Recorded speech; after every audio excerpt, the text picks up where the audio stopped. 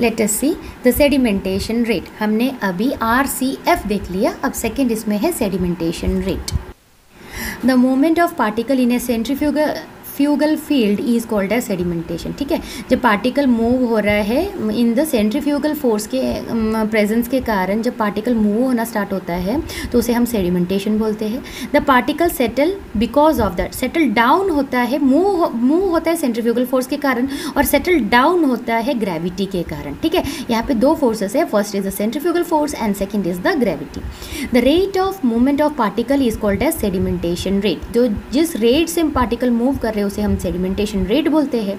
The sedimentation rate depend on the size and density of the particle फिर से याद रखना सेडिमेंटेशन रेट किस पे डिपेंड है? Size of the particle and density of the particle larger and denser particle settle first सबसे पहले larger और डेंसर पार्टिकल सेटल होगा।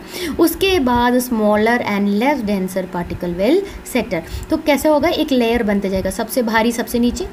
उसे कम भारी उसके ऊपर, उससे कम उसके ऊपर and like that the layer will continue so the rate of movement of particle is called as sedimentation rate the sedimentation rate depend on the size and density of the particle the larger and denser particle settle first this is followed by the smaller and the less denser particle the sedimented particle is called pellet अब ये जो सेडिमेंटल particles है, उसे हम pellet बोलते हैं. The solution about the pellet is called supernatant जो solution ऊपर है, उसको हम सुपरनेंट बोलेंगे। The particle settle down because of the gravitational pull जैसे मैंने बताया पार्टिकल नीचे सेटल क्यों होता है? ग्रेविटेशनल पुल के कारण। The spinning increases the gravitational pull तो स्पिनिंग क्या है? वो इंक्रीज करता है ग्रेविटेशनल पुल को। द रेट ऑफ़ सेडिमेंटेशन किस किस पर डिपेंड है? The density of the particle the size of the particle the viscosity of the medium and the gravitational pull pull यहाँ पे चार चीज़ों पे रेट ऑफ़ सेडिमेंटेशन डिपेंड है. Density of the particle size of the particle viscosity of the medium और last है gravitational pull In the centrifugation process, the particle will sediment progressively with time towards the bottom of the sample. जैसे हमने spin शुरू कर दिया तो sedimentation process शुरू हो जाएगा और पार्टिकल सेटल डाउन होगा धीरे धीरे एट द बॉटम और बॉटम से सबसे ज़्यादा भारी वाला बॉटम में रहेगा उससे सम लाइटर वाले ऊपर एंड लाइटर उससे भी लाइटर वाले उसके ऊपर एंड लाइक दैट बनाते जाएँगे. सबसे नीचे जो सेटल हुआ है जो पार्टिकल है उसे हम पैलेट बोलेंगे और ऊपर वाले सोल्यूशन को हम सुपरनेंट बोलेंगे.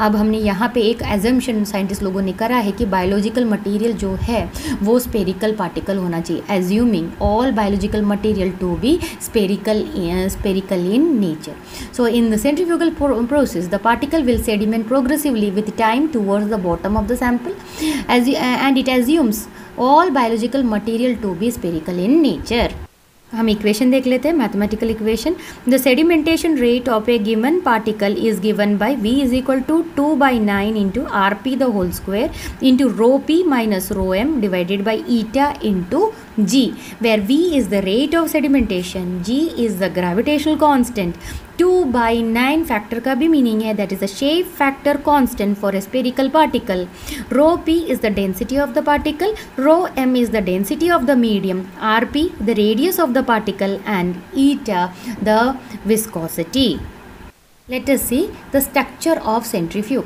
तो स्ट्रक्चर में क्या? इट कंसिस्ट ऑफ़ ए एक मोटर होना चाहिए, एक रोटर होना चाहिए और एक सैंपल होल्डर होना चाहिए। So the structure of centrifuge it consist of a motor a rotor and a sample holder structure of centrifuge there are two types of sample holder एक होता है एंगल टाइप जो मैंने पहले बोला था, और दूसरा होता है हॉर्जोंटल जो हॉरिजॉन्टल होता है, उसका दूसरा नाम है स्विंगिंग बकेट टाइप तो फ़र्स्ट है एंगल टाइप और दूसरा है स्विंगिंग बकेट टाइप इस डायग्राम में तुम्हें एंगल टाइप दिखा रहा है। तो यहाँ पे जो टेस्ट ट्यूब है और टेस्ट ट्यूब और सेंट्रल एक्सिस के बीच में एक एंगल बना रहे ठीक है? So hence it is called as angle type देखो, अभी स्विंगिंग बकेट टाइप दिखा रहे हैं। तो इनिशियली कैसा होता है? दोनों टेस्ट ट्यूब नीचे की ओर है और फिर क्या हो गया? सेंट्रल एक्सिस में से उसको रोटेट करना शुरू हो गया। जैसे वो रोटेट होना शुरू हो गया तो वो जो टेस्ट ट्यूब्स है, वो एग्जैक्टली परपेंडिकुलर देखो सेंट्रल एक्सिस से वो एग्जैक्टली परपेंडिकुलर हो गया है। So hence the name swinging bucket type In angle type, the sample holder are fixed and are found at an angle 30 degree from the central axis. Central axis से वो 30 degree पे है. In the swinging bucket type, the sample holder swim uh, swing up and run horizontally while swinging. तो दो type है एक angle type है वहाँ पे 30 डिग्रीज बनती है और दूसरे में exactly 90 डिग्री जहाँ हॉरिजॉन्टल बनता है उसे स्विंगिंग बकेट टाइप बोलते हैं the entire setup is kept inside a container ये पूरा एक कंटेनर के अंदर रहेगा for protection the container reduces the friction so as to have high speed of rotation container क्या करेगा? रिड्यूस करेगा फ्रिक्शन को and to have high speed of rotation the sample is taken in identical tubes and kept in a sample holder ठीक है? Sample किसमें? Identical tubes में ही लिया जाएगा and kept in sample holder then the rotor rotated at a required speed to separate the particle based on their density thank you